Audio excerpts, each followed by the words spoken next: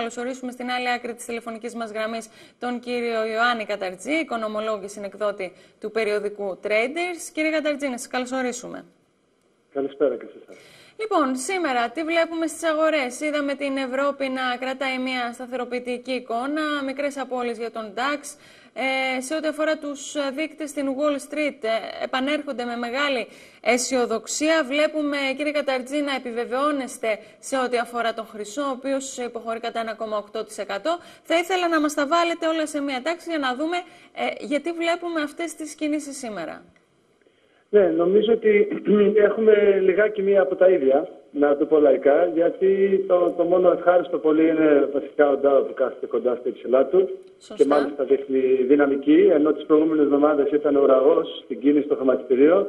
Ε, τις τελευταίες τρεις με τέσσερις συνεδριάσεις φαίνεται ότι παίρνει λιγάκι κεφάλι από τους υπολείπους και πιστεύω ότι αυτό δίνει τη δυναμική και την αισιοδοξία που περιμένουν πολλοί να δούνε.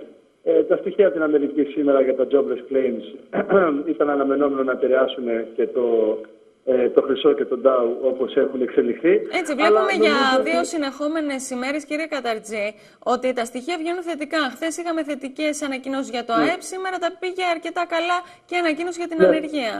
Ε, Είναι αυτό το θέμα το προεξοφλητικό, κύριε Ροδόπουλο, που έχουμε δει πολλές φορές. Δηλαδή, τα χρηματιστήρια προεξοφλούν και επειδή στα διαγράμματα αποτυπώνονται, για αυτούς που διαβάζουν τα διαγραμματα όλα αυτά τα νέα τα οποία ενδεχομένως από τους ίδιους τους επενδυτές αποτυπώνονται πάνω στο χρηματιστήριο, γι' αυτό και οι κινήσεις που βλέπαμε τις προηγούμενες μέρες ήταν ουσιαστικά μια αναμονή ως προς ε, θετικότερα ε, των ε, προβλέψεων σχετικά με τα στοιχεία που βγήκανε. Άρα λοιπόν θα τολμούσα να πω ότι έχουμε δει μεγάλο κομμάτι αυτών των θετικών εξελίξεων να έχουν αποτυπωθεί ήδη στα διαγράμματα.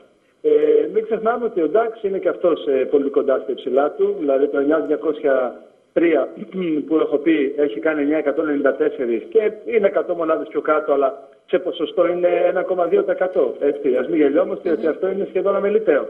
Ε, γι' αυτό λοιπόν είπα και στην αρχή της κουβέντας μας μία από τα ίδια, γιατί κανένας δείκτη, παρόλο το downgrade, την υποβάθμιση σήμερα της ε, γαλλικής ε, οικονομίας, του γαλλικού κράτους, ε, και είδατε ότι και αυτό δεν έχει επιδράσει ε, σημαντικά. Υπάρχει το μεσομακροπρόθεσμο θετικό momentum, απλώς όσο υψηλότερα ανεβαίνουν και με αυτή τη μεταβλητότητα την οποία το κάνουν, αρχίζουμε και γινόμαστε λίγο πιο σκεπτικοί όσον αφορά την επικείμενη διόρθωση και αν αυτή μας πιάσει στον ύπνο ή όχι. Μάλιστα. Ε, τώρα, σε ό,τι αφορά το χρυσό, δε- στα διεθνή δίκτυα βλέπουμε ότι η εξήγηση η οποία δίνεται είναι ότι τα θετικά στοιχεία που ανακοινώνονται στις Ηνωμένες Πολιτείες επαναφέρουν έτσι κάποιους φόβους ότι ε, θα ξεκινήσουν πιο γρήγορες συζητήσεις μείωσης ε, της, των αγορών ομολόγων από την Federal Reserve. Γεγονός το οποίο ανησυχεί τους επενδυτές. Εσείς συμφωνείτε σε αυτό; Ναι, συμφωνώ, αλλά ε, έχουμε πει πολλές φορές ότι ο χρυσός δεν εξαρτάται μόνο από αυτά. Ήδη, ήδη σαν χρυσός φαίνεται σαν ένα ξεχωριστό νόμισμα, όπως είναι το δολάριο. Τη μία μέρα έχουμε άσχημα νέα, την άλλη μέρα έχουμε καλύτερα. Διαγραμματικά, αν το δει κάποιος στο χρυσό, εδώ και εβδομάδες, ε, μεσοπρόθεσμα δεν υπήρχε θέμα να ασχοληθεί. Βραχυπρόθεσμα πήγε να δώσει μια αντίδραση στην οποία σταμάτησε στα 1360 δολάρια και βραχυπρόθεσμα πλέον ε, έχει πάρει την κατιούσα γιατί δεν επιβεβαιώθηκε ο σχηματισμός, έδωσε ένα 5% με και αυτή τη στιγμή οδεύει προς τον νότο. Γι' αυτό σας είχα πει ότι συμφωνούσα και με την Goldman Sachs ε, η οποία είχε βγάλει το στόχο των 1.100 δολαρίων όπως είπατε, αλλά δεν είμαι σίγουρος ότι θα το πιάσει τόσο σύντομα και τόσο άμεσα.